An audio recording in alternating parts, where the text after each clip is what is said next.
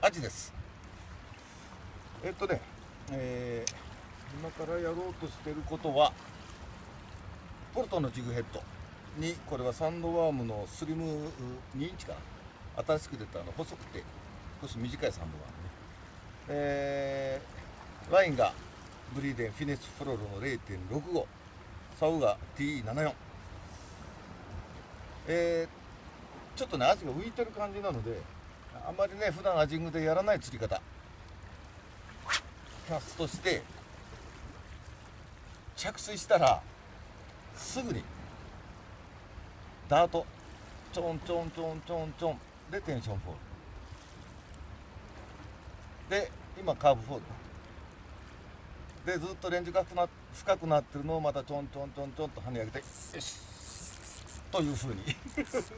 おおいいじゃん。カメラ回っていいきなり一発。よいしょ。ほらほらほらほら。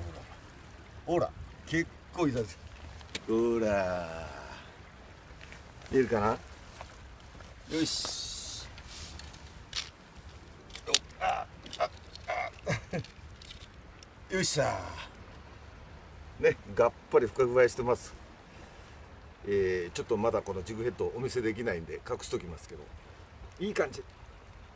立て続けにもう一発いくからね。そのまま回しててね。閉めてよし。よいしょ。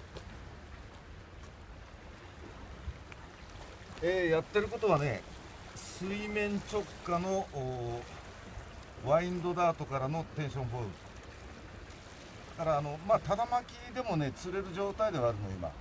釣れる状態ではあるんだけど効率で言うとね圧倒的に水面で落としてすぐにちょんちょんちょんちょんとダート左右ダートをかけてはテンションフォールの方がもうスイッチの入り方がね全然違うっていうねそういうパターンなんです。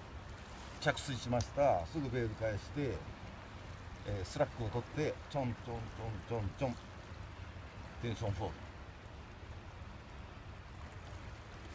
ちょんちょんちょんちょんちょんテンションフォールよしうんすごい。連発よしほれうんすごい。でしょこれちょっとちっちゃい。からお帰りい。ただきますせっかくなんでめったにない。ことですから3連発い。きましょうか3連発よっ着水しましたスラック取ってちょんちょんちょんちょんちょんテンションフォールああこれだ まあこんな声際限なく釣れる。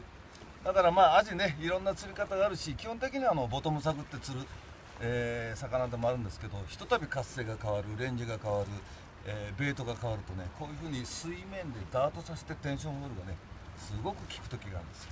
まあいわゆる小魚パターン。ね。ということで televisão.